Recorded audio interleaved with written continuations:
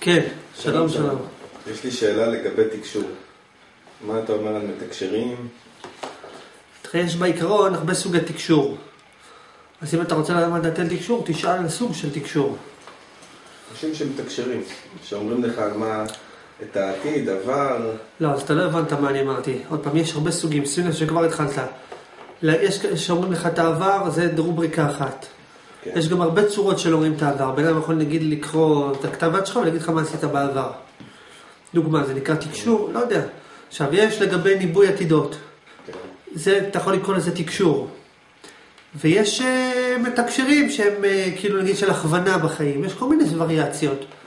יש כאלה שמתקשרים עם חייזרים, עם מלאכים, עם אלוהים, כל אחד, שאלה מה אתה שואל? מעניין אותי. מה, תן דוגמה, תן, תפרק את השאלה. אנשים שנגיד אה, מתקשרים עם, אה, נגיד כ... בוא נשאל אותך שאלה, אתה רואה את הקיר. הזה? אתה רואה את הקיר הזה? אה, נכון, ומתקשרים עם טארות, ומתקשרים עם קלפים, כן. בכוס קפה, זה גם כן. תקשור. שואל אותך שאלה, אתה רואה את הקיר הזה? כן. מה אתה אומר עליו? קיר, קיר לבן. תקשור. לא מעלה ולא מוריד, זאת התשובה. לא נותן לך שום דבר, תכלס. הקיר נותן יותר טוב. סתם, הקיר והתקשור אותו דבר נותנים. יודע, למה? למה? נגיד שאני אנבא לך את העתיד, מה זה נתן לך? כלום. לא, אבל עכשיו אני נגיד, יודע אפילו את אני. אפילו אני אנבא לך את העתיד, לא, זה כן נתן לי, כי אני כביכול חושב כן. על מה יהיה, ואני כביכול יודע מה יהיה. מה זה נתן לך? אני נגיד אנבא לך, יש לי תקשור מיוחד שמתקשר, את מגלית על אותו. לא, אני מה אני- זה נתן? אני זכית יודע בלוטו. מה מישהו חושב עליי. ומה זה. נתן לך? סתם, אני יודע. כי אז אתה יודע איך לדבר איתו. כן. מה זה נתן לך? ואז דיברת איתו. איך שרצית. בוא נגיד תקשור, נגיד שאתה יכול לשלוט במחשבות של אנשים, דוגמה. כן. אתה שולט במחשבות של אנשים, מה זה נתן? כלום. נגיד שאתה אלוהים, בסדר? אלוהים הוא, הרי כולם מתקשרים עם מלאכים, או עם אה, ישויות, נכון? נכון? ומי עומד מעל כולם? אלוהים. אלוהים. שהוא הישות העליונה. הוא העליונה, כאילו בקטלוג הוא העליונה. עכשיו בוא נגיד שאתה הופך להיות אלוהים, אתה המתקשר העליון. מה זה נתן לך? אתה אלוהים, תחשוב כל מה שאלוהים יכול לעשות, אתה יכול. מה שאתה רוצה אתה יכול לעשות, מה זה נתן לך? אתה יכול לנבא עתידות, לשלוט בגורלות, לקבוע מה שאתה רוצה. מה זה נתן? זה נותן לי לדעת... אה, זה נותן לך לשנות המציאות נגיד. כן, לשנות. לך. שינית אותה, מה עכשיו? עכשיו אתה מרוצה? כן. כן? בוא נבדוק. אה?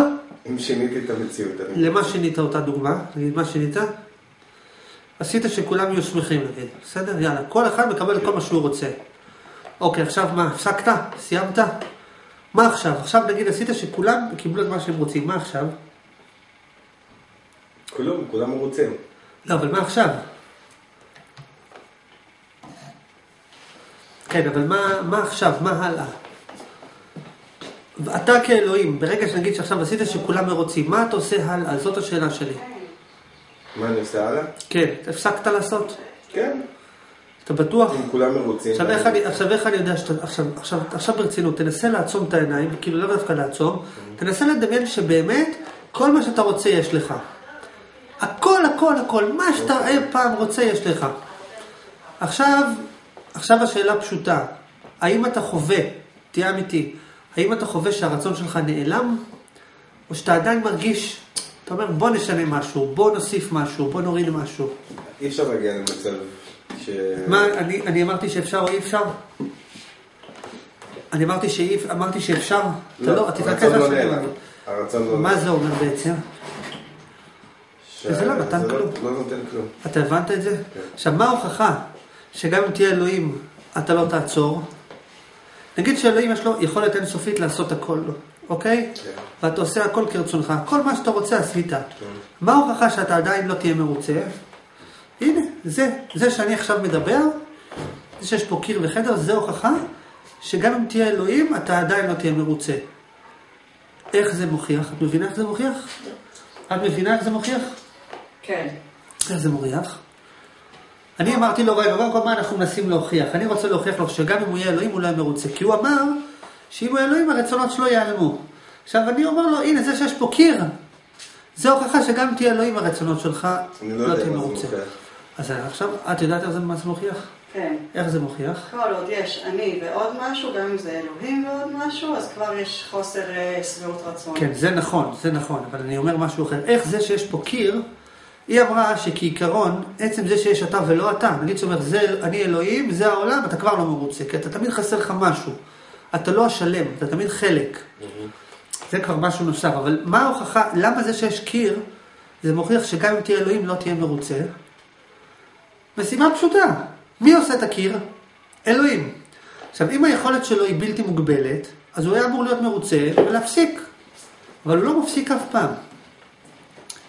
מה הבנת? את הבנת? הוכחה פשוטה. הוא אמר שאם הוא היה אלוהים, הוא היה עושה את כולם מאושרים ואז מפסיק. אז הנה עובדה שאלוהים לא עושה את זה. זאת אומרת שזה לא מספיק טוב לו. אם זה היה נכון, אז אלוהים עכשיו היה עושה את כולם מאושרים, ולא, ולא, ולא עושה פה טלוויזיה וחדר מאנשים. וזה סימן שזה לא, שזה לא מצליח, הוא לא... או ש... לא, בהיגיון הוא יכול, כי הרי הוא עושה את הכל. ואם, למרות שהוא יכול לעשות הכל, אף על פי כן הוא כל הזמן עושה ועושה ועושה, זה אומר שהוא לא מספיק אה, מרוצה, למרות שהוא יכול לעשות הכל. אם אלוהים היה מאושר, באמת, הוא גם לא היה צריך לעשות את כולם מאושרים. מה אכפת להם אם מאושרים או לא? הוא בכלל לא יעשה בני אדם, יעלים את כולם. הרבה אנשים אומרים, אם הייתי אלוהים, הייתי מעלים את הכל. אבל עובדה שהוא לא עושה את זה. מה הבנת? עכשיו תסביר לי למה זה שיש פה קיר, זה הוכחה. לא הבנתי. אז אנחנו נסביר את זה עוד פעם. יש פה כרגע קיר, יש משהו שכרגע גורם לקיר הזה להיות פה. מה גורם לו כרגע להיות פה? אלוהים. יש כוח שכרגע גורם לקיר הזה להיות פה, ולך לא להבין אותי ואני להבין אותי, בסדר? עכשיו, אם, מה אתה אמרת? אתה אמרת, אם הייתי אלוהים, הייתי עושה שכולם יהיו מאושרים, ואז, היית, ואז קודם כל, כבר כשהסתכלת לתוכך, ראית שגם אם כולם יהיו מאושרים, אתה עדיין תרצה רצונות. זה נכון? כן. יפה, אבל אני אומר, נגיד שיבוא מישהו, איך זה הולך? אנשים רוצים להתעשר. אז אתה אומר לו, אבל תקשיב, גם תהיה מאושר, לא תהיה, גם תהיה עשיר, לא תהיה מאושר. הוא אומר לך, איך אתה יודע? אתה אומר תסתכל, כל העשירים לא מאושרים. אז הוא אומר לך, לא, לא, לא, לי זה לא יקרה. הם לא יודעים איך להשתמש עם הכסף, אבל אם לי את הכסף, אני אהיה מאושר. לא, זה כולם אומרים. עכשיו, אני אומר לך, תקשיב, גם תהיה אלוהים, אתה עדיין אה, לא תהיה מאושר. אתה אומר, איך אתה יודע? אתה אומר, אז אני אומר לך, תסתכל לתוכך ותראה שהרצון שלך לא נעלם, בשום שלב. אז אתה אומר, לא, אולי הוא כן ייעלם. מה ההוכחה שהוא לא ייעלם? תסתכל על אלוהים. הוא אלוהים והרצון שלו לא נעלם. זה שיש פה קיר, זה אומר שעכשיו לאלוהים יש רצון שיהיה פה קיר. זאת אומרת שזה שיש לו את כל היכולות, זה לא מעלים לו את הרצון שלו, כי עובדה שעכשיו הוא רוצה שיהיה פה קיר. הרצון תמיד קיים, זה לא יעזור, צועב ככה, צועב ככה. נגיד שכולם היו מאושרים, היית אומר איזה עולם משעמם זה, בוא נעשה מדוכאים. מדוכאים, בוא נעשה מאושרים. כל הזמן זה משתנה, זה לא, אין פה... ולמה זה? ולמה זה נובע? בגלל מה שהיא אמרה. מה היא אמרה? אמרה, כעיקרון, כל זמן שיש שניים, כל זמן שיש משהו ועוד משהו, אתה תמיד תרצה את הדבר השני, תמיד. תמיד, אתה תהיה אלוהים, אתה תגיד, נמאס לי שאני יודע הכל, אני רוצה לא לדעת הכל, רוצה להיות בן אדם שלא יודע הכל. אתה תוכל לשלוט, נגיד, דוגמה, יש, יש סרט שנקרא ברוס אלמייטי, ברוס הגדול מכולם. מכירים את הסרט? שזה, אה? שהוא, שהוא מנסה להיות אלוהים, יום אחד הוא בא מתלונן לאלוהים, אז אני אומר לו, טוב, תחליף אותי לשבוע. אז הוא מחליף את אלוהים לשבוע, ואז הוא קולט איזה כאב ראש זה, וכל אחד רוצה.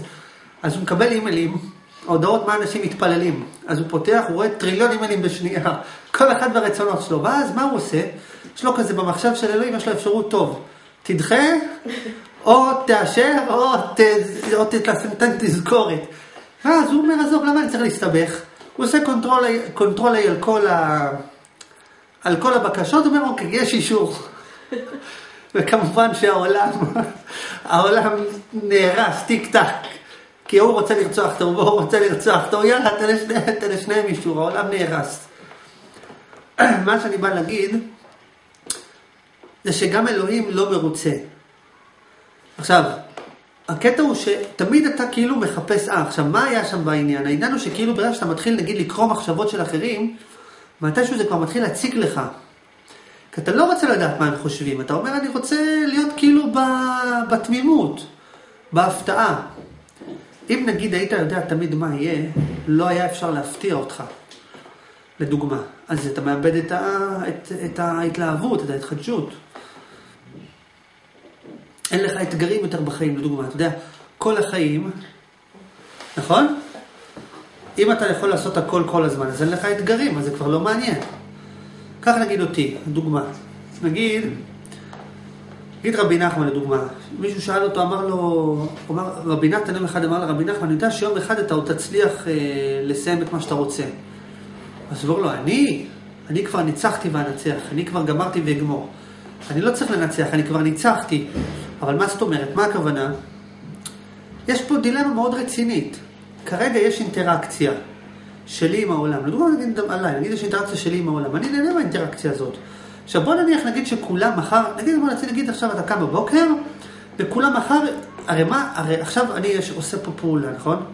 עכשיו לפעולה הזאת יש תכלית, פורמלית. מה התכלית שלשמה אני עושה את הפעולה?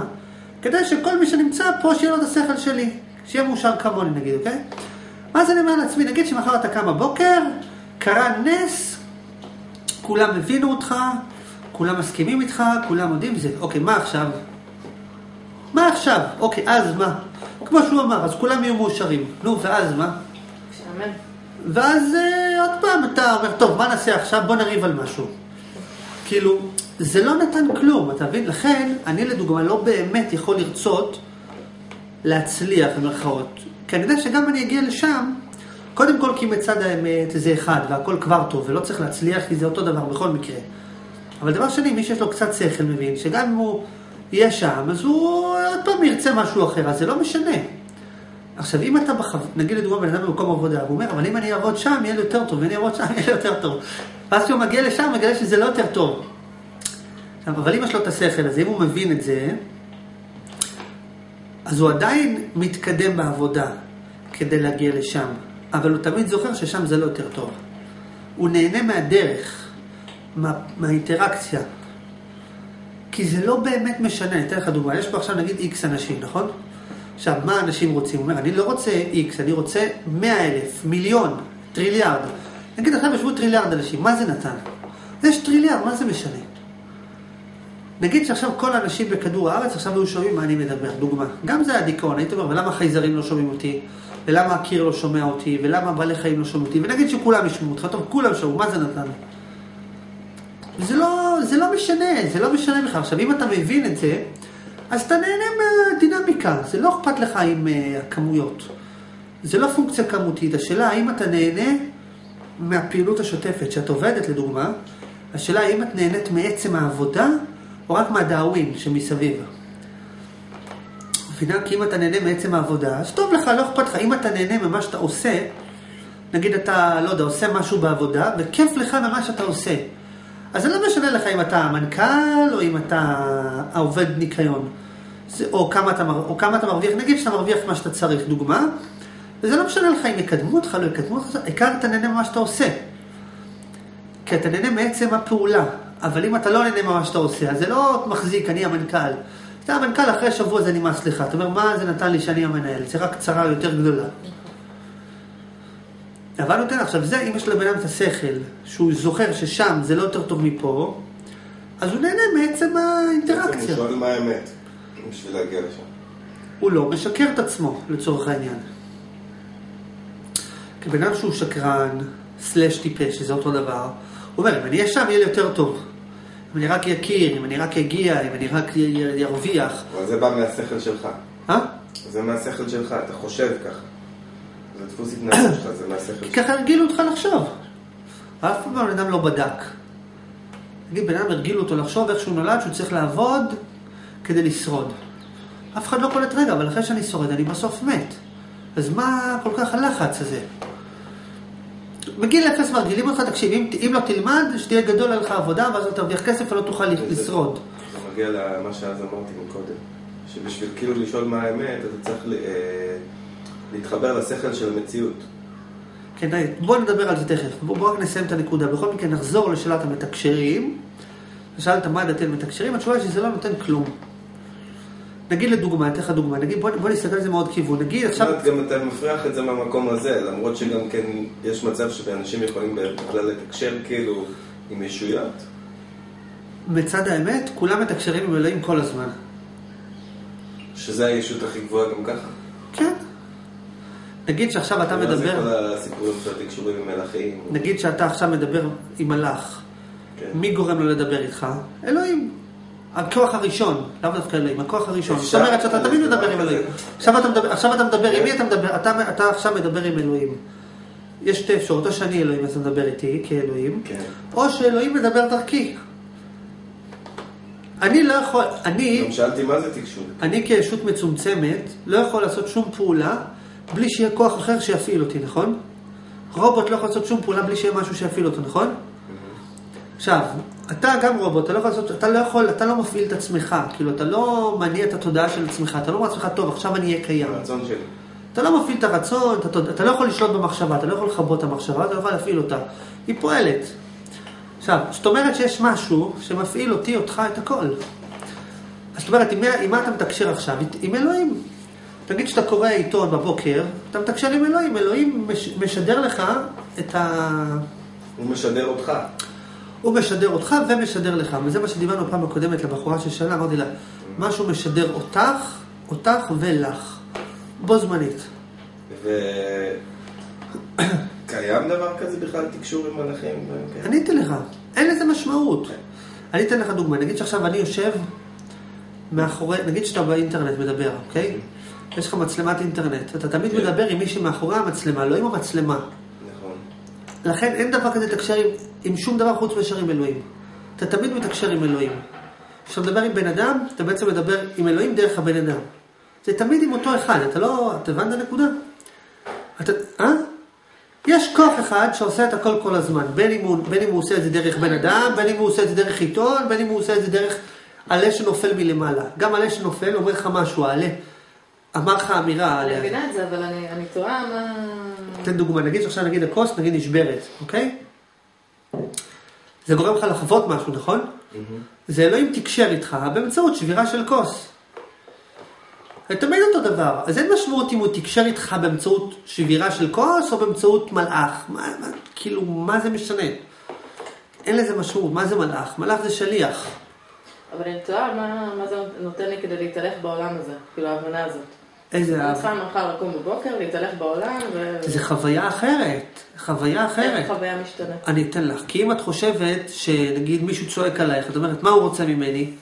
כאילו, את, את לא מסתכלת על הדברים בפרספקטיבה של הוא מולי, הוא נגדי, הוא שולט בי, אני שולטת בו. יש כוח אחד שמפעיל את הכל. זה משהו אחר, כי את בראש שלך עושה, אם אני אגיד לו ככה, הוא יעשה ככה, אם אני אגיד לו ככה, זה... ואת לא, ולא, לא תלוי בך. אם, את, אם מה שהוא יעשה זה לא תלוי בך, מה שאת תעשי זה לא תלוי בך. כן שנינו משנה תלויים בך. זה כן משנה את המחשבה. כמו שאמרתי לך, כאילו שאתה חושב נגיד משהו מסוים. ברוב המקרים אתה חושב על מה, מה קורה, מה קורה, מה קורה מסביבי.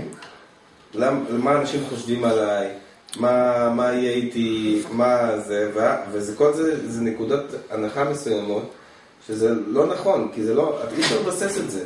אתה לא יכול להגיד, את המחשבות שלנו, 90% מהן, אי אפשר ממש לבסס אותן. אוקיי. אין, אין להם בסיס שהוא אמיתי. כי- ואם אתה שואל, אם אתה שואל מה האמת, בעצם אתה לא מתחבר לשכל שלך, אתה מתחבר לשכל אחר. בהתחלה כשאתה שואל מה האמת, זה עדיין מה הוא אמר. שלום שלום, מה הוא אמר? הוא אמר שכשאתה שואל, אה, כשאתה שואל מה האמת, אז זה כאילו מחבר אותך למה שמחוצה. אנחנו מדברים עכשיו על נושא, על הפרספקטיבה שכאילו שאתה מסתכל מבחוץ על הכל. שאתה מבין שמשהו אחד מניע את הכל. ואז היא שאלה מה זה נותן אה, לתחושה. עכשיו הוא דיבר על הנושא שכשאתה שואל מה האמת, אתה כאילו מסתכל מבחוץ, אבל זה גם כן לא כל כך נכון, כי בהתחלה כשאתה שואל מה האמת, אתה עדיין שואל מה האמת לפי השכל שלך. כן. אתה לא יכול לשאול מה האמת לפי השכל שלו, אתה לא יודע מה השכל שלו. אתה, כבר לא מקשיב תקשיב, תקשיב, בוא למחשבות תעשה טריק כזה, כל פעם שאתה רוצה לדעת מה האמת, תשאל את עצמך, מה אליעד חושב על זה? נכון שזה לא יעבוד לך? כי אתה לא יכול לדעת מה אני חושב על זה. נכון? אותו דבר, אתה לא יכול לשאול מה האמת, כי אתה לא יודע מה האמת הגדולה. אלא מה? על ידי שבן אדם שואל מה האמת, מה האמת, בסוף הוא מתחבר לדבר הגדול. זה כמו, נגיד שיש את השכל של הבן אדם, ואלוהים כאילו נגיד נמצא פה, נגיד מאחורה. הוא כאילו נמצא מאחורי כל הסרט. עכשיו אם אתה כאילו מתחבר פנימה, פנימה, פנימה, עכשיו אתה נגיד רואה פה דברים סביבך, עכשיו אם אתה מתחבר פנימה לתוכך, אתה לאט לאט נכנס פנימה, עד שאתה כאילו, יש לך את הכתר, את הגבול, את הגבול בינך לבין אלוהים, זה נקרא מאציל ונאצל, כאילו שיש את ההבדלה בינך, בין התודעה שלך לתודעה של אלוהים, ואם אתה ממשיך לחפור פנימה, פנימה, פנימה, פנימה, אז אתה מגיע לדבר שממנו אתה עשוי, שהוא אלוהים. שזה אומר, ששאלת לגבי תקשור, זה קשקוש. למה? כי אתה אלוהים בכלל. אתה שוכח את זה, אבל אם היית מבין את זה, אז מה זאת אומרת? כאילו, אתה, מדבר, אתה בכלל אלוהים שמדבר. זה לא ש... אתה לא צריך לתקשר עם מישהו. אתה אלוהים בכלל, מה אתה צריך לתקשר? אם היית חווה את זה. נגיד שאני אומר משהו, זה לא נקרא תקשור. כשאני אומר משהו, זה מה שאלוהים אמר. כאילו, זה לא שאני מתקשר עם אלוהים, כאילו יש כאלה, הוא אומר, אני תקשרתי עם המלאך, שהוא שאל את אלוהים, והעבירו לי שדר להגיד לכם, כמו משה, תקשיבו, אני אדבר עם הוא, שידבר איתי, שידבר איתך. התקשורות האלה זה משחק של אלוהים. אה? כל התקשורות האלה שאנשים אה, מתקשרים, זה משחק של אלוהים, שזה בכלל הם עצמם, שעושים עכשיו, כאילו, תקשרתי עם המלאך הזה, עם, ה... עם האישות הזאת, זה קורה, אבל זה כמשחק שבכלל הם עושים את זה. עכשיו, אבל אם אתה מגיע בשכל שלך להבנה מסוימת של אלוהים שהיא שווה לאלוהים, אז כל מה שאתה אומר זה אלוהים אמר. זאת אומרת, כשאתה אומר למישהו זה ככה, זה ככה, אין פה... אני מבסוט. אה? אני עכשיו... בסדר גמור. יש לי גם סיבה, אני אספר לך אחרי זה גם. בסדר, יש דבר שנקרא אספקלריה מהירה, ברור. בוא נדבר על הנושא הזה, בסדר? אני רוצה לעבור נושא עכשיו. אנשים, עכשיו הנושא הוא כזה, האם האמת היא טובה או לא טובה? בסדר?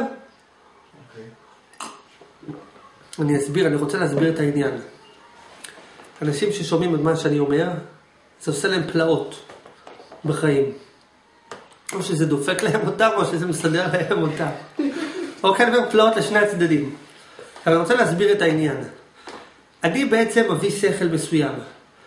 מביא, מביא שכל, אה, שכל מסוים. עכשיו, השכל הזה, תלוי באיזה דרגה הבן אדם נמצא. ואני אגיד את הדברים כפי מה שהם. אם הבן אדם בדרגה נמוכה, השכל הזה מאוד עוזר לו.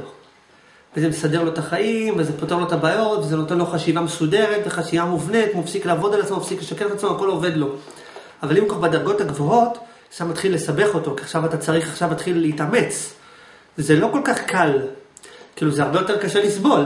אבל נגיד שעכשיו נגיד תיקחו נגיד איזה גורו גדול שהוא כבר עשה את העבודות הרוחניות שלו, והוא הגיע לדדליין, ועכשיו הוא שומע שכלים חדשים, תובנות חדשות, כי מה שאני אומר זה נכון גם לרמה הפרקטית של העבודה, הצורת חשיבה היא נכונה גם לפרקטיקה היומיומית וגם לשכל הגדול. אבל נגיד שהגורו הזה נגיד לוקח את מה שאני אומר, זה עכשיו הוא צריך הרבה יותר להתאמץ כדי ליישם את הדברים, ואז הרבה פעמים הוא חווה קושי. אני אגיד לך מה היה בסיפור, אני שקראתי את רבי נחמן בהתחלה, זה כמובן סידר לי את החיים. סידר לי את החיים, וזה סידר לי את החיים בערך לתקופה של איזה עשר שנים. שממש זה היה הספר, הייתי פותח אותו, מתחבר לשכל, וכל פעם שהייתי צריך משהו הייתי מתחבר לשכל של זה, וזה כאילו ממש היה פיקס, ממש סידר לי את כל הדברים. אבל אחרי עשר שנים בערך, זה עשה את העבודה טוב מדי. מה זאת אומרת עשה את העבודה טוב מדי? זה גרם לי שכל מה שרציתי היה לי. זאת אומרת, הרי אם אתה בן אדם מאושר, שהוא אומר, או, הצלחתי להשיג עוד מטרה, הצלחתי להשיג עוד מטרה, נכון? למה בן אדם מאושר? אתה אומר, או, אתה יודע, הסברת לי משהו, עכשיו הסתדר לי זה, והסתדר לי זה, והסתדר לי זה. ואני, בגלל שהקשבתי לעצות שלו, אז הכל הסתדר לי. וכשהכל הסתדר לי, אז התחילה הבעיה. זה הבעיה, שהכל, שהכל כאילו כרצונך, אז זה הבעיה. כי אז אתה מגלה, כי אנשים חיים באשליה. זה בעיה? מה שאני מסביר. כי אנשים חיים באשליה עקרונית.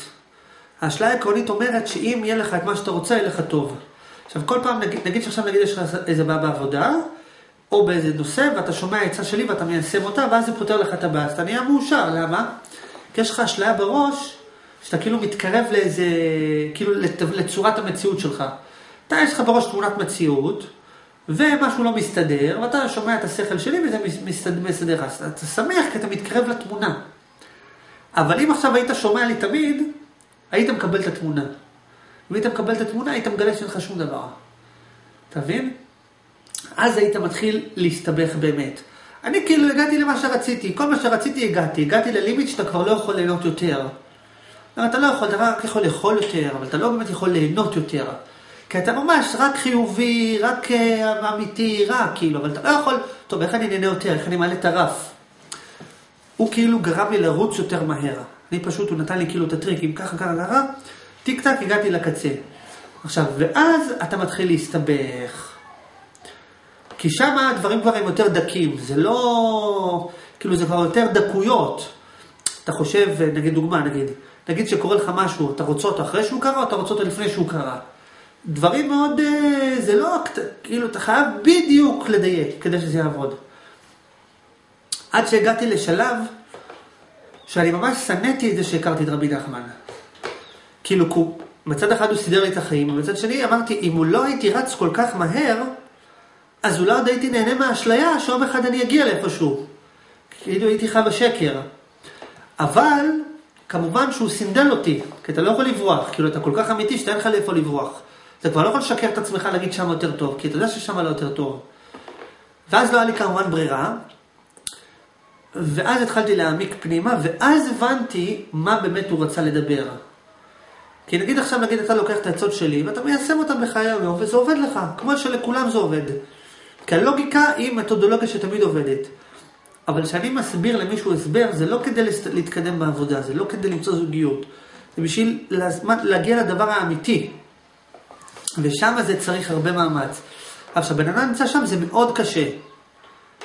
מאוד קשה העניין. אבל אם אתה מתמיד ומיישם את העצות עד הסוף, אז אתה, אז אתה מה שנקרא, the winner takes it all, לוקח את הכל, את כל הקופה, כן, אפשר לספר חוויה? ברור, אבל אנחנו פה. לא, בסדר, בסדר, אתה לא מי פה? משה. כן, דבר. אני אה, כמובן אה, שמעתי לעצמך המון המון זמן וחקרתי, חקרתי ונברתי וחקרתי. גם כשהייתי במקום שהייתי, שאתה מכיר איפה שהייתי, אוקיי, והיה לי מלחמות וזעם פנימי וחבל הזמן, הייתי תמיד ככה על סף, ככה הרגשתי שאני תמיד על סוג של תהום כזה. בין הכי גרוע ביותר לבין הכי, הכי טוב שלו, בין הכי טוב. הרגשתי שאני... ואתמול גם כן הייתי אה, ככה על הגבול הזה, ואז היום הלכתי, פגשתי את ידידה שלי, התחלנו לדבר, ואז פתאום הגעתי לאיזה נקודה, שאני אומר, תוך כדי שיחה, שאני לא יודע. פתאום נכנסתי לבור, וואחד בור. לבלקאוט כזה. הרגשתי שאני צונח. לא יודע מה לדבר, כאילו. איבדת את ה... את באתי את. הרגליים, לא יודע, לא יודע. אוקיי. פתאום אני אומר, אני לא יודע. פתאום אני אומר, אני לא יודע, ואני מרגיש כל ה... כולי נעלם. ופתאום צף עלה מתוך הזה שם, איזה סוג של... ואז הבנתי, פתאום הרגשתי את זה, שכל מה שאנחנו זה מחשבה אחת. מחשבה. תסביר. שכל מה שאני רואה, כל מה ש... כל מה שהמציאות הזאת בעצם זה סוג של מחשבות של אנשים שהרכיבו מחשבות, שהרכיבו מחשבות. ובעצם הכל מחשבה אחת גדולה. ומה שאני רוצה, אם אני רוצה משהו, אני פשוט צריך לרצות אותו ולחשוב אותו וזה מה שיהיה. אם תתחבר למחשבה הראשונה, זה לא כל כך נכון. אם נגיד עכשיו אתה תעצום את העיניים, כן? ותדמיין מולך פיל. ותדמיין שמישהו מרביץ לו דוגמה. כמו שעכשיו היה נגיד עם השוקרים, עם החזירים והשוקרים. נגיד כן. שאתה עכשיו תעצום את העיניים, תדמיין חזיר, תדמיין שנותנים לו שוקר. כן. עכשיו הוא בתוך המחשבה שלך. כן. החזיר בתוך המחשבה שלך. אוקיי. נכון? איפה הוא קיים? במחשבה שלך. המחשבה. עכשיו, אם הוא ממש, ירצה, זה עוזר לו במשהו? הוא לא, מה, מי שואל אותו בכלל? הוא, אתה מחליט מה הוא חושב, אתה כן, מחליט כן, מה הוא כן, מרגיש, כן, כן, הכל, הכל, הכל זה המחשבה.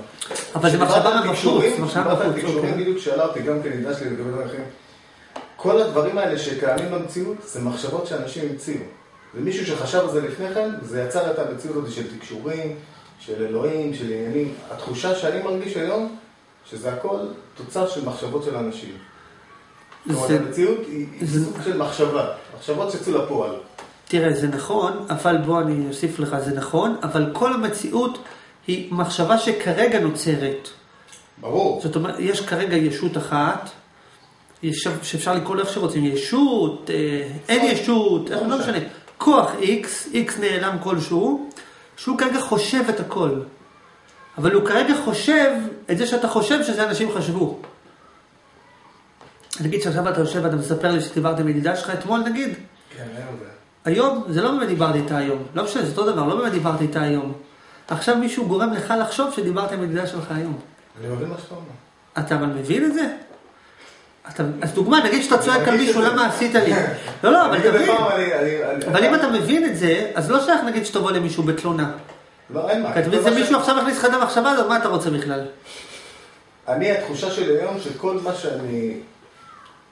כל מה שעומד לנגד העיניי ולפניי וזה, זה מה שאני חשבתי, זה מה שצריך, זה מה שאני רוצה. אם אני לא רוצה... אה, דר, לא, דרך, דרך, ה, דרך המחשבה הראשונה של כל המחשבות. כן, אתה כן, צריך כן. לחדד כשאתה אומר, אתה אומר משפט. אוקיי, תמיד אתה... לא, לא, כי צריך לחדד, אתה אומר משפט. מה אמר? אמר שכל, שהוא מרגיש שכל מה שהוא רואה זה מה שהוא רוצה. זה הביטוי של המחשבה שלו. כן. עכשיו, כשאתה אומר את זה, אז מי ששומע אותך חושב שאתה מדבר על הגוף. אבל הגוף שלך לא אחראי, מה, אתה חושב עכשיו שיהיה בחוץ עץ? גם הגוף שלי זה מחשבה. כן, השאלה היא, שאתה אומר אני, למי אתה מתכוון? אם אתה מתכוון לגוף, לצמצום, לא, לא, לא, לא, אני מדבר על משהו...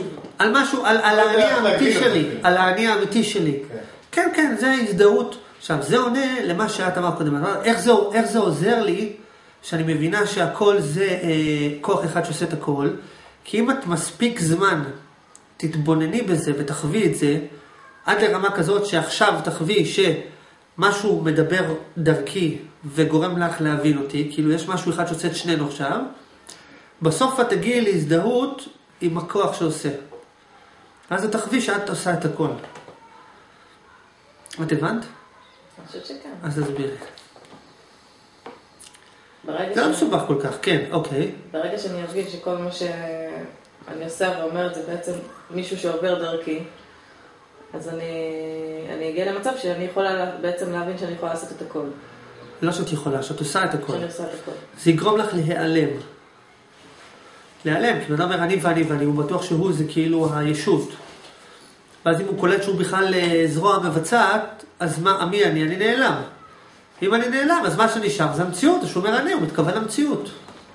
ומה, איפה אני בתוך כל הסיפור הזה? תלוי, עוד פעם, תסביר את השאלה.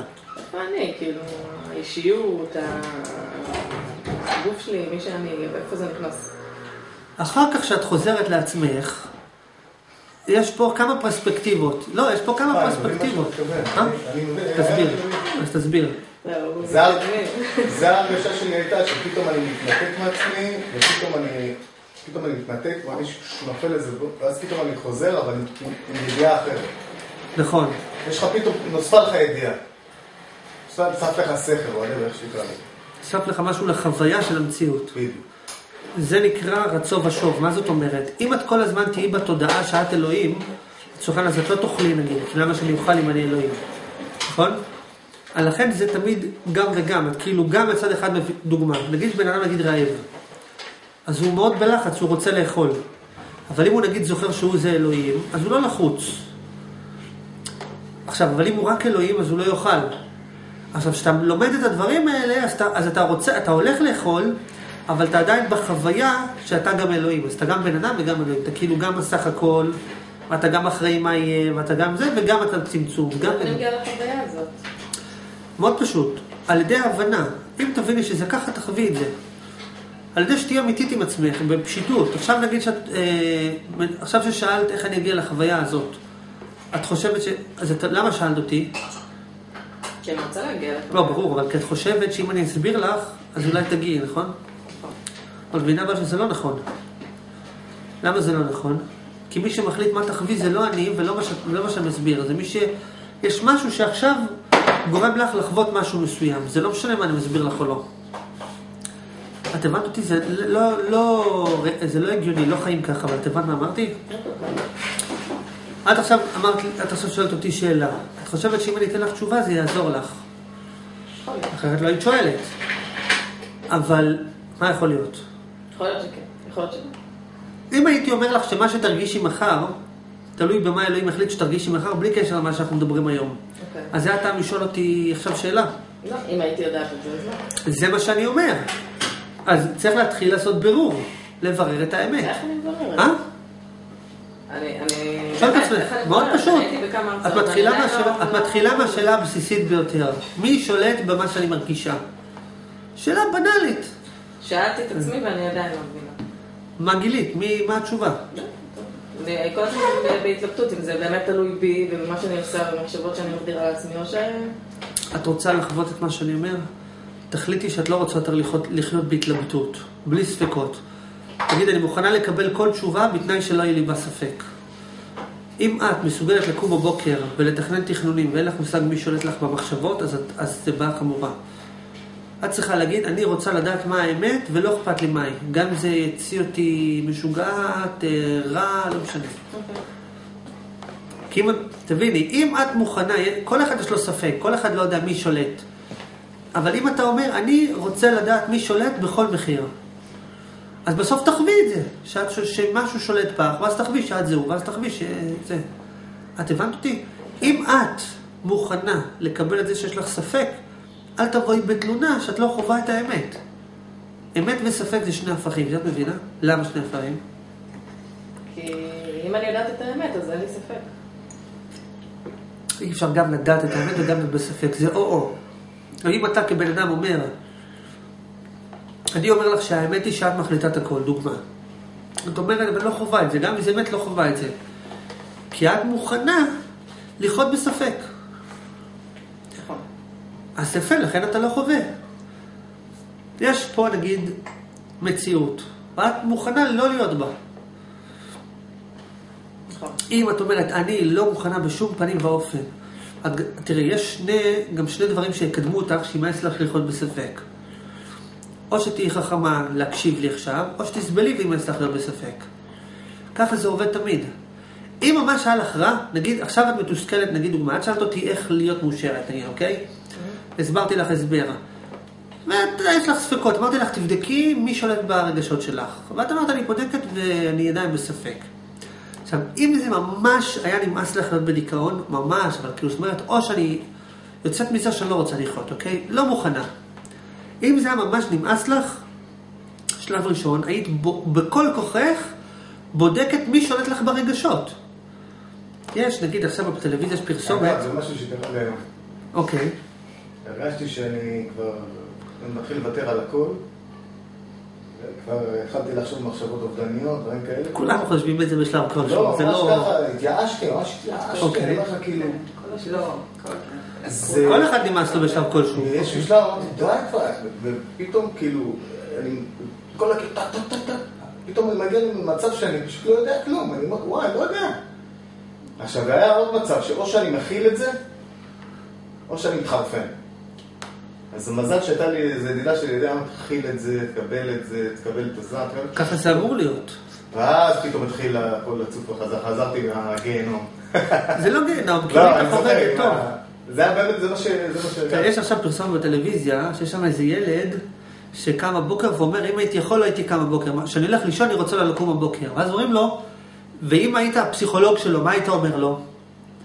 כי כולם בדיכאון, אבל אם היית הפסיכולוג שלו, אני הפסיכולוג שלו, אומר לו, שלב ראשון תבדוק מי אחראי למה שאתה מרגיש. איך תצא מדיכאון אם אתה לא יודע בכלל מי אחראי למה שאתה מרגיש? למה אתה צוחק? כי זה מצחיק. לא, אבל זה הגיוני, כי בן אדם כאילו עושה תוכניות שלמות. אני אעשה ככה, אעשה ככה, והוא בכלל לא שולט בזה. עכשיו, יכול להיות שהוא שולט בזה, אבל אם הוא היה בטוח שהוא שולט... אם בן אדם היה בטוח שהוא שולט בזה, אז הוא היה משנה. אבל כשקשה לו, הוא אומר, אני לא שולט בזה. נגיד שעכשיו אני אומר לך, את יודעת, מי שאחראי מה את מרגישה, זה רק את. את אחראית. ואם תגידי, אני רוצה להיות מאושרת, תהיי מאושרת, מה תגידי לי? לא, אני לא שולטת בזה. נכון? אז אני אומר לך, אז את לא שולטת בזה, אז תפסיקי לרצות. אומרת, לא, אבל אני כן שולטת בזה, מה אני יכולה לעשות?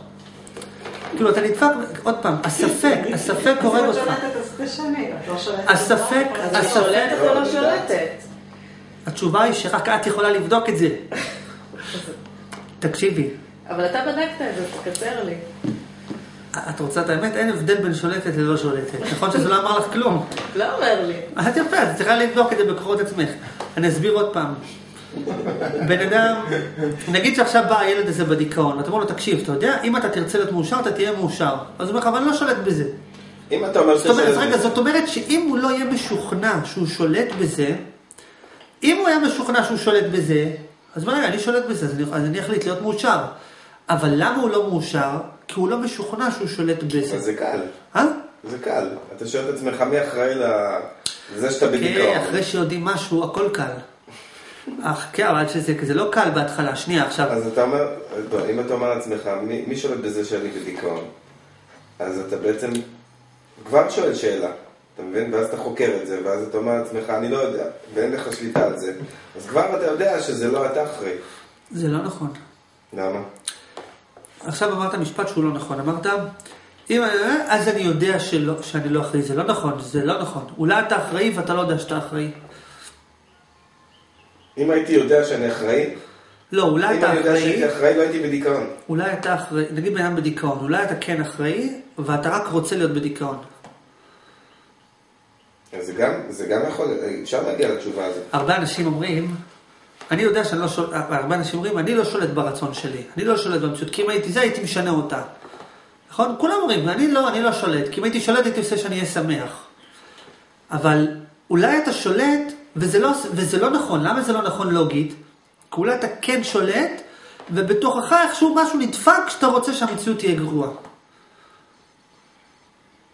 ואתה אפילו רוצה לשקר את עצמך, להגיד לעצמך שאתה לא שולט. ועד שבן אדם לא בודק את זה במוחלטות, הוא תמיד יהיה לו את הספק. אולי אני שואל, כי אם בן אדם היה בטוח שהוא לא שולט, לא שולט, נגמר הדיון. אם בן אדם היה בטוח במאה אחוז שהוא לא שולט במה שהוא מרגיש, באותה רגע אין לו יותר רצון מה להרגיש, כי זה נגמר, מה, לא תלוי בי, נגמר, נכון? נכון או לא? אבל אם היית בטוח שאתה לא שולט בשום דבר, אתה משחרר לגמרי, אין, אין טעם אה, להתאמץ, לכעוס, כאילו אין... אבל אה, בטח שאתה כן שולט, לא הגיוני שאתה לא.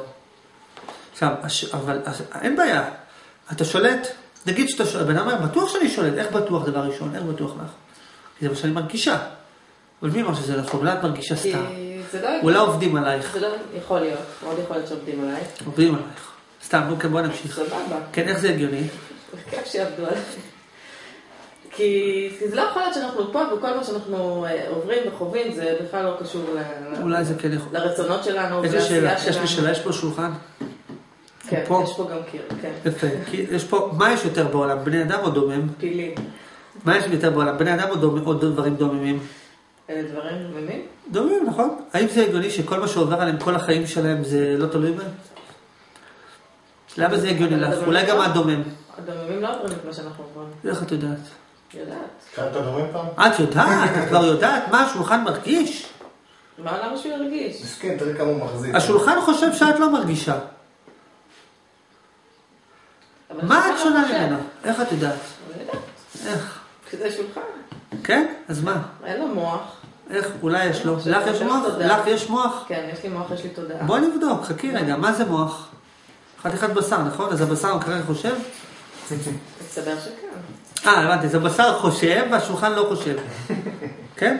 אז מה, אה? יודע שכן. מה העובדה שכן? איפה המוח? את יש לך תודעה? איפה היא נמצאת? בתוך המוח? לא. איפה היא נמצאת? היא נמצאת כמצב תודעתי. מחוץ למוח, מחוץ לגוף, נכון? אז אולי יש לשולחן הזה תודעה בלי מוח. יכול להיות.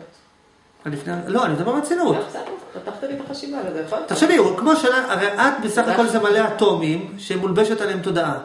אז גם זה אטומים בצורה אחרת שמולבשת עליהם תודעה. אני בכלל חושב שהשולחן זה מחשבה. באמת, אני הכל, פתאום הכל נהיה לי... אבל זה בסוף הגיע להבנה שאין הבדל בין מחשבה ללא מחשבה. לא, מה זה מחשבה? אה? מה זה מחשבה? מה זה, מה, זה, מה זה לא מחשבה? מה ההפך של מחשבה? משהו ממשי, ומה זה משהו ממשי? לא, אני שואל, מה זה מחשבה?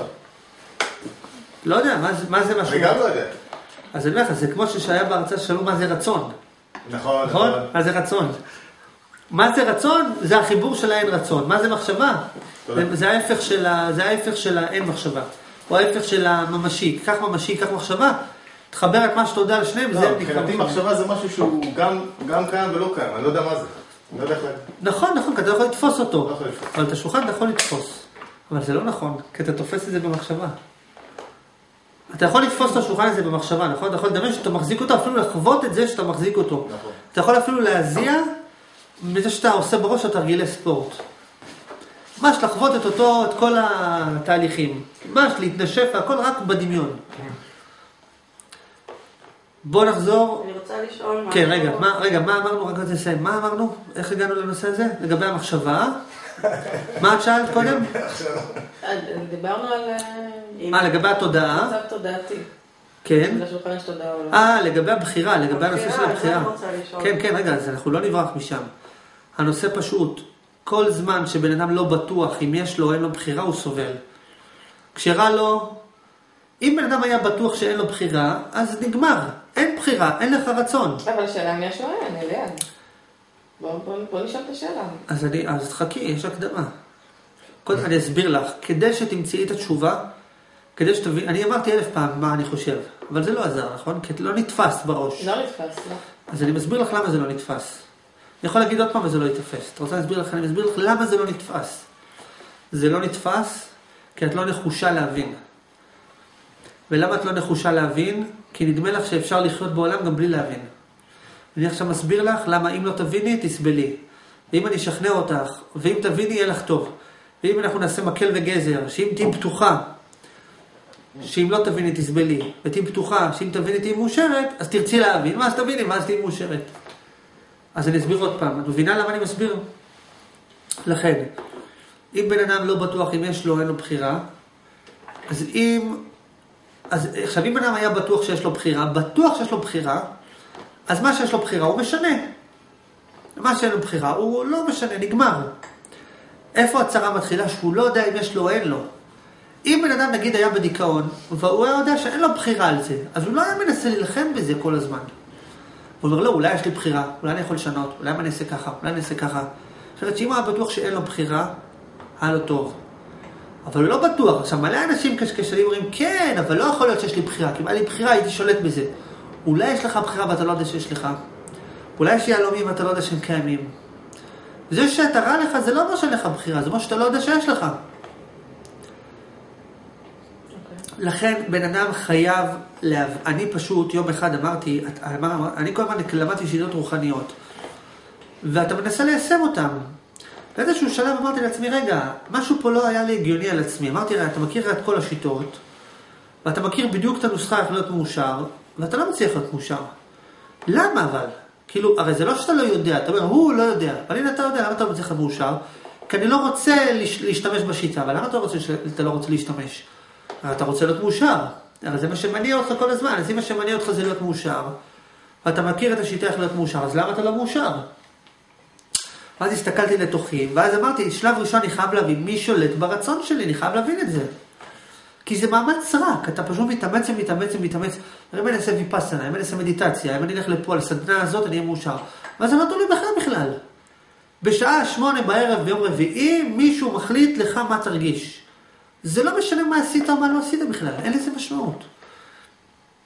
עכשיו, אם אתה מבין את זה, זה עצמו גורם לך להרגיש טוב. בהתחלה יכול להיות שזה יגרום לך להרגיש רע, אחר כך יגרום לך להרגיש טוב. אבל זה, אבל זה מוציא אותך מהשיגעון, שאם אני אעשה ככה יהיה, ואם אני אעשה ככה לא יהיה. אבל אתה חייב להבין את זה, כן. אנחנו, אנחנו רק נעשה הפסקה כמה דקות ונמשיך. כן, אז מה ש, ששאלו זה בעצם לגבי הנושא של הבחירה החופשית. כי ביום יום בן אדם עוד לא נמצא בהבנה שהוא עושה את הכל וכולי וכולי. ואז השאלה היא, אולי עד שהוא יגיע לזה, אולי הוא צריך להכניס לעצמו לראש שהוא עושה את הכל וכולי וכולי, נכון? אז קודם כל אני רק רוצה להגיד שגם מי שיבין שהוא עושה את הכל, הוא גם לא יהיה מאושר. כי גם אלוהים לא מאושר, זה מה שדיברנו בהתחלה. זאת אומרת, זה הרבה יותר טוב שאתה עושה את הכל מאשר, ש- מאשר ששולטים בך. אבל, אה, אבל אף על פי כן, גם אם בן אדם היה מבין שהוא אלוהים, זה גם לא היה הופך אותו למאושר. כי עובדה שגם אלוהים לא מאושר, עובדה שהוא כל הזמן משנה את המציאות. זה דבר אחד שצריך לדעת אותו. העושר מגיע לא כאשר אתה מבין שאתה אלוהים. אז אולי אושר זה שינוי. אה? מה זה אושר? שנייה, אושר מגיע לא כאשר, אושר מגיע לא כאשר אתה מבין שאתה אלוהים, אושר מגיע כאשר אתה מבין שהכל אחד. כשאתה מבין שאין הבדל בין אני שולט ללא שולט, נו, אז אלוהים מאושר. לא, הוא יודע שהכל אחד. נכון, השאלה אם איזה צד מסתכלים על, עליו, מאיזה פרספקטיבה.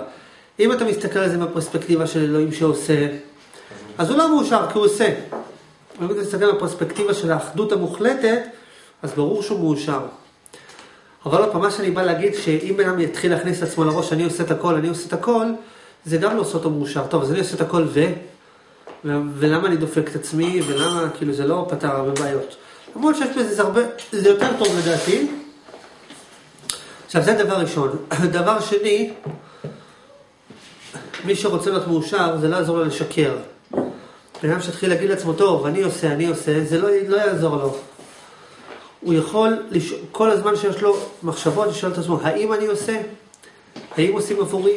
האם אני שולט? האם שולטים עבורי? אבל לשקר זה לא, לא פתרון. כי השקר, אתה בסך הכל מחליף בית כלא אחד לבית כלא אחר, זה לא עזר בכלום. כל הקונספט הוא להפסיק לשקר, זה כל המתודולוגיה. להפסיק להגיד, טוב, אז מעכשיו אני אאמין בעצמי, אז מעכשיו אני אגיד שאני עושה, מעכשיו אני אגיד שאני לא עושה, לא, לא. תפסיק לשקר, תתחיל לברר מה האמת, ואם אתה לא יודע, תגיד, מה לא תגיד? יודע. תגיד, לא יודע. זה מפחיד לא לדעת. אתה לא יודע, זה, זה מפחיד, אתה אומר, אני כבר עדיף משהו לחשוב. לא, לא, עדיף שלא תדע, מאשר שתשקר את עצמך. אולי עדיף לא לדעת, באמת. זה מה שאמרתי. ועדיף עוד יותר טוב אם לא תדע שום דבר. נכון? מה אנחנו מנסים להבין? אנחנו, אני אסביר לך. אנחנו, בואי נניח שהדבר הכי טוב בעולם זה לא לדעת שום דבר. את מסוגלת, לא, אם לא, בואי גם נסביר את זה. אם לא היית יודעת שום דבר, לא היית יכולה לסבול בשום דבר בעולם. אם לא היית יודעת כלום, לא יודעת איך קוראים לך, לא יודעת מי את, מה את, לא יודעת שום דבר.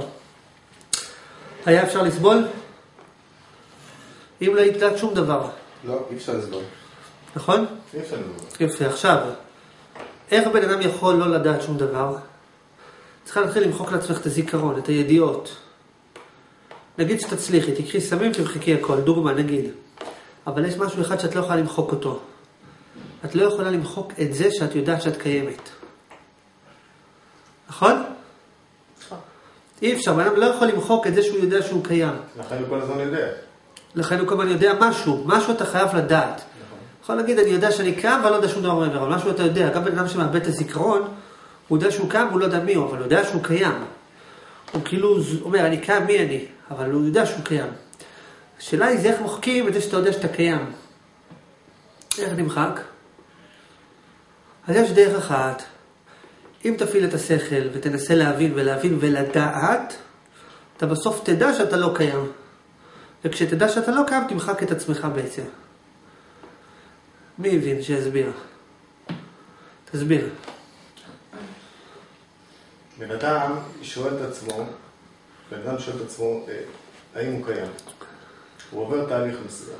בתהליך הזה הוא מבין בסופו של דבר שהוא לא קיים. שהוא גם לא קיים, הוא גם לא קיים. או עוד יותר גרוע, שהוא קם ולא קם בזמנית, שזה עוד יותר גרוע.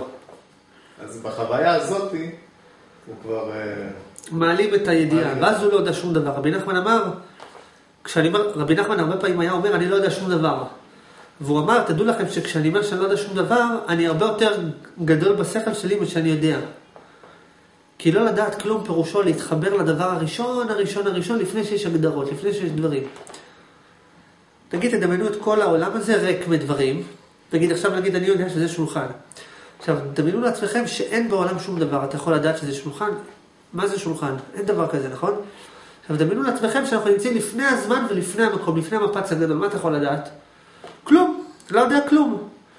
אז זאת אומרת שהתודעה הראשונה במצב ההתחלתי שלה לא יודעת שום דבר. עכשיו, אם מספיק רע לך, אז אתה מתחיל לנסות להבין עד שאתה לא יודע שום דבר והכל טוב. זה נקרא ביטול לאין סוף. מה זה אין סוף? אין גבול.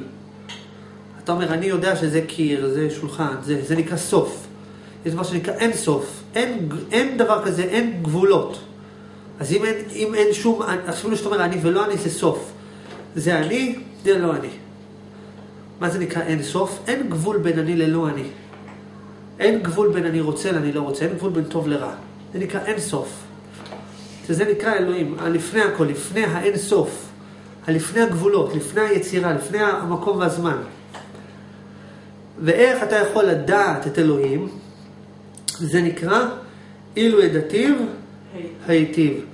אתה רוצה להיות אלוהים? אתה יכול. איך? אם תדע מה זה. אם בן אדם חופר וחוקר מי ברא, למה ברא, למה אני מרגיש, למה אני רוצה, מאיפה זה בא, מה זה מחשבה, מה זה רצון, מה זה עולם.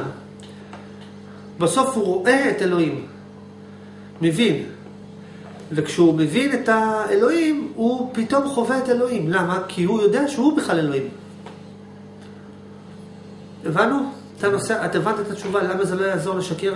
אנחנו, מדובר, כל הקונספט הוא להתחיל להגיד את האמת. זה כל הקונספט, אני אף פעם לא בעד שקר. אגיד, להטיל ספק כן, כל פעם שיש לך משהו, אולי ההפך נכון, אולי ההפך נכון. נגיד, את אומרת לך, יש לי בחירה? אולי אין לי בחירה. טוב, ברור שאין לי בחירה, מה אין לי בחירה? הייתי משנה, לא, אולי יש לי ואני לא רוצה לשנות. תמיד הפכים. עד שאתה מברר מה האמת. זה משאיר אותי בבלבול בעצם. נכון? לא, אבל, אבל, זה, אבל זה נותן לך קו איך לצאת מהספק.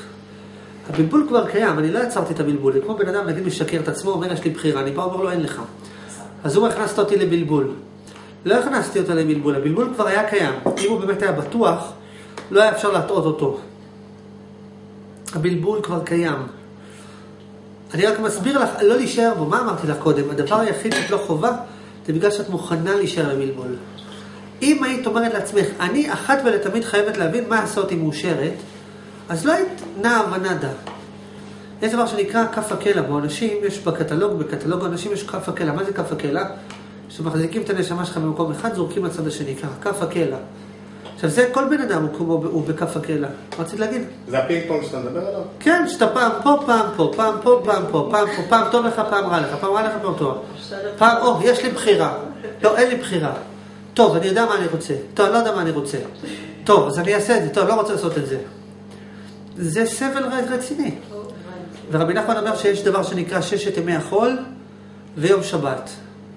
בששת ימי החול זה נקרא כשר, פסול, טמא, טהור, מותר, אסור, ובשבת זה נקרא מנוחה. כי... אה? לא. רבי נחמן אומר, יש, יש ב, ביהדות מושג שנקרא ששת ימי החול ויום המנוחה. אוקיי. רבי נחמן אומר, ששת ימי החול זה כנגד שישה סדרי משנה, שזה נקרא טמא טהור, כשר פסול, מותר אסור, שזה נקרא טוב ורע מעורב. רבי נחמן אומר, כל המצוות שבן אדם עושה בששת ימי החול, זה נקרא עצבות. הוא בעצבות כולו, כי גם אם אתה שמח, אתה לא באמת שמח. אתה אומר, או, הנה אני שמח, אבל אתה לא באמת שמח, אתה כאילו טוב, יאללה, אני שמח. אתה לא באמת שמח. אבל יש דבר שנקרא שבת. מה זה שבת? לשוב בתשובה. אם הצלחת לחזור בתשובה, אז אתה ביום שבת. אה? כן, מה זה נקרא. לחזור בתשובה? מה זה נקרא לחזור בתשובה? לחזור בתשובה, הכוונה שאתה משיב את הדבר להתחלה שלו. אם אתה רואה מולך קיר, ואש, וזה, ואתה מצליח לחזור בתשובה, מה זאת אומרת לחזור בתשובה?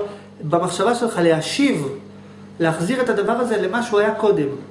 לראות איך הוא מתאחד לך עם הכל. נגיד שאתה רוצה את זה ולא רוצה את זה. ואת, מה זה נקרא לחזור בתשובה? להשיב אותם להתחלה, לחבר אותם למקום שבו זה לא משנה. לחבר את הכל לאחדות. היית אומר, זה אני, זה אני, לא אני. אם אתה מצליח לחזור בתשובה, ת, תנסה להתחבר למקום שבו אין אני ולא אני. זה להשיב את הדבר למקום שממנו הוא נלקח. אתה יודע, יש משהו מדהים שעליתי עליו, אה, ומה, ומה השכר של מי שמצליח לחזור בתשובה?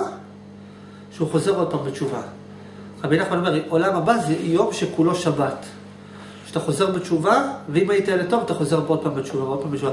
מה הכוונה חוזר בתשובה? הכוונה שכל פעם אתה חווה יותר את האחדות. עוד יותר אתה משיב את זה, עוד יותר אתה משיב את זה. כל פעם חוזר להיות עוד יותר אלוהים, עוד יותר אלוהים. אתה עוד יותר חווה את האלוהים, עוד יותר את האחדות. זה נקרא יום שכולו שבת, שכל הזמן שווים בתשובה. כן, מה רציתי להגיד? לא. אתה יודע למה אתה לא זוכר? שאלתי מה רצית להגיד, מה אתה רוצה להגיד. הרי משהו אתה רוצה להגיד. לא, לא זוכר. רציתי, אה, להגיד? משהו כן. על... אה, משהו שעליתי עליו שבוע שעבר, כאילו לא איזה תגלית, בשבילי זה התגלית. כאילו, ששני קווים, לא ידעתי ששני קווים מקבילים באינסוף הם נפגשים. ובדקת את זה? לא, אז איך גילית? כשאמרתי את זה? לא, מישהו אמר לי את זה. אני אמרתי את זה. אתה אמרת את זה? כן. אני אמרתי את זה, אתה אמרת את. זה? אני אמרתי את זה, כן, זה בווידאו מתועד. אני אמרתי את זה, שאני צף בזמן האחרון. בסדר, בסדר, כי זה לא משנה מי אמר את זה. עשו חישוב מתמטי שבסוף הגיעו שהם מתחברים. זה מה שאני יודע, יכול להיות שזה לא נכון, אבל זה לא משנה. לזה אותו היגיון. קונספט. אה? היגיון, זה לא הגיוני, כי זה הפוך. במהות. למה? כי במהות זה הפוך. למה זה הפוך? כי קווים מקבילים, כל ההגדרה של מקבילים זה שהם לא נפגשים לעולם. ופה אתה אומר, אבל לעולם, לא, אחרי לעולם הם נפגשים. כן. אז. בסדר, זה דבר והיפוכו כזה. מחשבת הבריאה. כן, מה השאלה? דבר, תשאל את לא, השאלה. אמרתי אז על מחשבת הבריאה, מה- מה זה מחשבת הבריאה? מה אתה יודע על מחשבת הבריאה? אני יכול להגיד לך, מה אתה יודע? אה, מה שאני יודע, מה שאני יודע היום לפחות, ש... שכל הבריאה זה בעצם מחשבה. אוקיי. מי חשב, עכשיו תגיד לי, מי חשב ככה? מי חשב את המחשבה? לא. או מי חשב שתהיה מחשבה? אז ככה, רבי נחמן אומר שיש דבר שנקרא אהבה שבזמן ואהבה שמעל הזמן. אהבה שבימים ובמידות ואהבה שבדעת. מה הכוונה? נגיד שאת אוהבת משהו, דוגמה. את אוהבת משהו, טוב לך לאהוב אותו, נכון? עכשיו, תארי לעצמך שהיית אוהבת אותו, עכשיו, כשאתה אוהב משהו, אתה רוצה אותו קרוב אליך, נכון? אתה אומר, זה אני לא אוהב שיישאר שם, זה אני אוהב אותו, אני רוצה אותו קרוב אליי. אבל את אף פעם לא יכולה לחבר אותו אלייך לתוכך, כי הוא תמיד בחוץ, נכון? נכון. עכשיו, נגיד שיש מישהו שאת אוהבת אותו, דוגמה, או משהו שאת אוהבת אותו, תראי לעצמך כמה טוב היה לך אם היית מסוגלת לאהוב אותו באותו רמת קרבה שאת אוהבת את עצמך, כאילו אותו אחד. עכשיו, מי יכול, מי אוהב ככה את העולם? אלוהים, לפני בריאת העולם, היה הכל אחד איתו, נכון? לפני בריאת העולם, הכל היה אחד. לא היה שייך להגיד אני ולא אני. אז יש לזה שיא האהבה. אין שום הפרדה, אין אני ולא אני, אין טוב ורע, זה הכל אחד. שיא ההכלה. עכשיו, יש דבר שנקרא אהבה שבדעת. מה הכוונה? רבי נחמן אומר שמי שמעלה את מידת היראה לשורשה, מה זאת אומרת? מי שמתמודד עם כל הפחדים שלו, כל אחד יש לו פחדים, מי שעושה פרויקט חייו נגד הפחדים. כי הפחדים הורגים אותך. כל פעולה שבן אדם עושה, אפילו עכשיו שאת שואלת אותי שאלה, זה גם בגלל הפחד שלך. מפחד אולי אני לא אהיה מאושרת. ואת שואלת שאלה, כל דבר שאתה עושה, אתה בגלל שאתה מפחד. אתה מפחד ממשהו. אפילו אתה אוכל, אתה מפחד למות. אתה עובד, אתה מפחד לזה. אתה... וזה... מהפחד. וזה לא הגיוני, כי אתה כל היום מפחד. מה ההוכחה שבן אדם מפחד? שהוא עושה פעולות, מה מפחד? כי אם יש לך רצון, אתה מפחד. בכל מקרה, רבי נחמן אומר, מי שמעלה את מידת היראה לשורשה, הכוונה מי שמתנתק מכל הפחדים שלו, אז הוא זוכה להתגלות האהבה שבדעת. מה זאת אומרת? שהוא אוהב את הבריאה כפי שהבורא אהב אותה לפני שהוא ברא אותה. כי תחשבו שדוגמה, זה היה בין מיראה לבין לשמה, ל... אהבה ולשמה ולא לשמה, כן, מהירה ומאהבה. כן. משהו כזה, כן, זה תמיד באנלוגיות. עכשיו אני אסביר מה זה, זה, מה זה נקרא מחשבת הבריאה. זה, יותר, זה כמו נגיד ילד. נגיד בן אדם עומד. אבא שלו עומד, זה שתי ישויות נפרדות, נכון? אבל לפני שהילד נולד, איפה הילד הזה היה? מבחינה פיזיקלית, בתוך אבא שלו. נכון? תחשבו על זה, כי לבן אדם הזה, הילד הזה, הישות שלו, הייתה בתוך הגוף של אבא שלו. עכשיו, דבר- עכשיו, עכשיו הוא כאילו יצא, זה נקרא להוציא מכוח אל הפועל. עכשיו, לפני ה... נגיד שלאותה טיפת זרע, לדוגמה, לפני, לפני ההולדה היה לה תודעה. היא הייתה אומרת אני, למי הייתה מתכוונת? לאבא. ילד לפני שנולד, נניח שניקח את הנקודה של הילד, והוא יגיד אני, למי הוא מתכוון? לאבא, כי, כי זה ברור, כאילו, אתה אבא. למה שהוא יוצא החוצה, הוא אומר אני, הוא נפרד מאבא. עכשיו, אותו דבר הבריאה. לפני בריאת העולם, כל הדבר הזה, שבמקרה זה גם עכשיו היה בתוך אלוהים. היה אחד לגמרי, שאת אמרת אני, זה היה אלוהים, יש רק אני אחד. אני זה אלוהים, אין אני ולא אני, אפילו אפילו לא צריך להגיד אני, כי אין אני ולא אני, זה הכל אחד. עכשיו הבורא הוציא את הבריאה מכוח אל הפועל, מה זאת אומרת הוציא? זה נקרא מחשב את הבריאה, מה הכוונה? מחשבת חשב את הבריאה. הוא חושב את הבריאה, זה כמו שאמרתי לך, נגיד שאתה מדמיין פיל. הפיל קיים בתוך המחשבה שלך. עכשיו, הבורא חושב אותנו. הבורא עכשיו חושב, כאילו, מה זאת אומרת הבורא? הכוח הראשון חושב את הכל, הווה עושה את הכל. זאת אומרת שאנחנו איפה נמצאים? בתוכו. כל המקום הגדול הזה, איפה נמצא? בתוך אלוהים. תחשבי כאילו שיש איזה אלוהים, איזה משהו שכל הדברים הם בתוך המחשבה שלו. נגיד שהוא חושב על פיל, הפיל נמצא בתוכו. וכל מה שקרה, קורה ויקרה, זה הכל בתוך המחשבה של החושב. כשאת חולמת חלום, כל הסיפורים שקרו שם הדרמטיים זה הכל בתוכך בכלל. אותו דבר באנלוגיה, כל העולם הזה זה בתוך מחשבה של אלוהים. עכשיו, אם אתה מבין את זה, אז קודם כל אתה מעלה, את- אתה, אין לך פחדים יותר. למה אין לך פחדים? כי מה שייך לפחד? מתי אתה מפחד? זאת אומרת, זה, זה, זה, זה. אבל אם אתה אומר, הכל בתוך יחוש- ישות אחת, אז ממה אתה מפחד? מה אתה מפחד? מה יש לך לפחד בכלל? אין שום סיבה.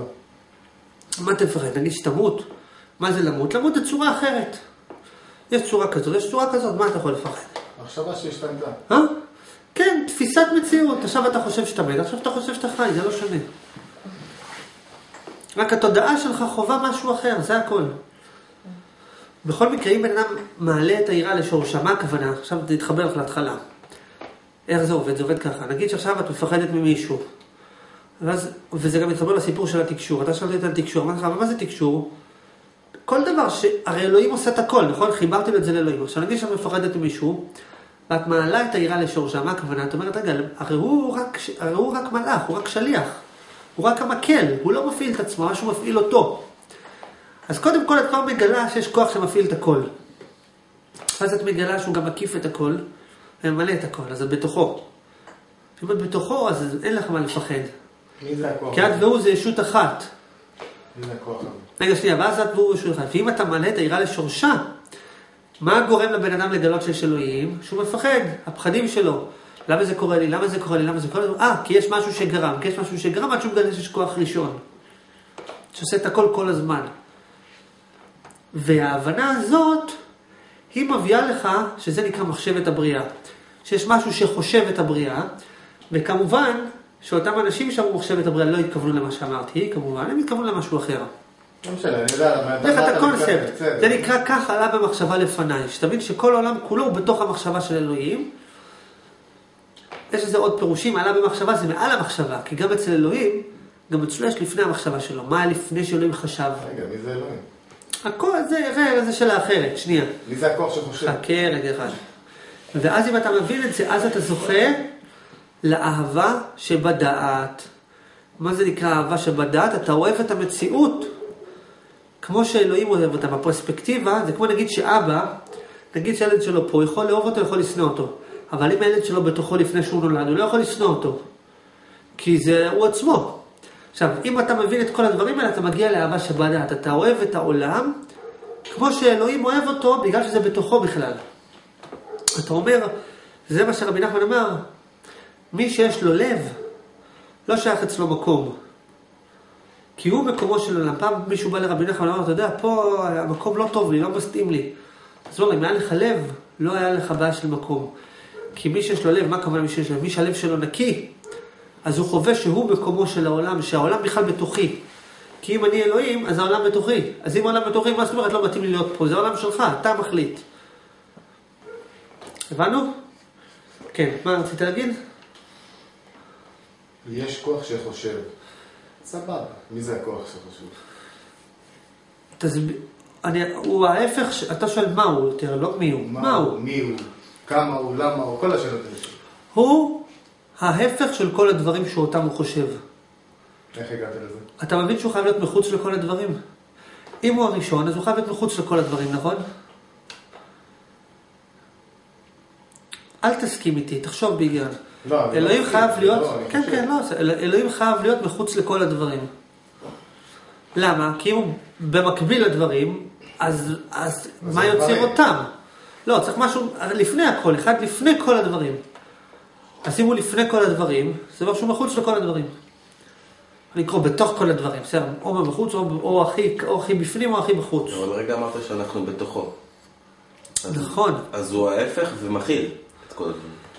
תסתכל, זה כמו מה שהסברתי כמה פעמים, יש כדור, האוויר גם נמצא בתוכו, גם נמצא סביבו.